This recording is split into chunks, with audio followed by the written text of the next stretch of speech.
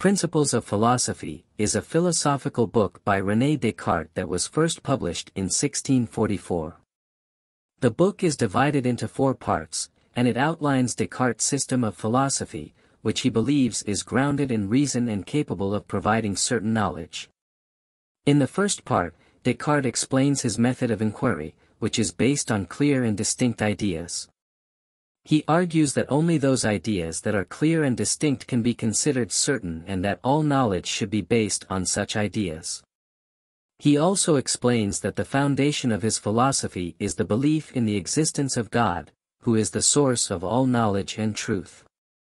In the second part, Descartes discusses his conception of matter and motion. He argues that matter is simply extended substance and that all physical phenomena can be explained in terms of motion. He also outlines the laws of motion and argues that they apply universally to all physical bodies. In the third part, Descartes discusses his conception of the human mind and its relation to the body. He argues that the mind is a thinking substance that is distinct from the body and that it is capable of understanding the laws of nature. He also explains that the mind and the body interact through the pineal gland and that this interaction is responsible for sensations and movements. In the fourth part, Descartes discusses his conception of knowledge and truth. He argues that true knowledge can only be obtained through reason and that it is based on clear and distinct ideas.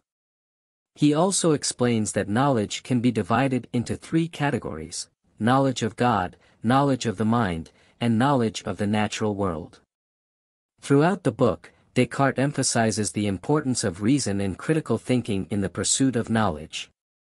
He argues that only those ideas that are clear and distinct can be considered certain and that all knowledge should be based on such ideas. He also emphasizes the importance of the belief in God as the foundation of his philosophy and argues that God is the source of all knowledge and truth. Overall, Principles of Philosophy, is a foundational work of modern philosophy that emphasizes the importance of reason, critical thinking, and the use of clear and distinct ideas. Descartes' system of philosophy is grounded in the belief in the existence of God, and he argues that all knowledge should be based on the pursuit of truth through reason.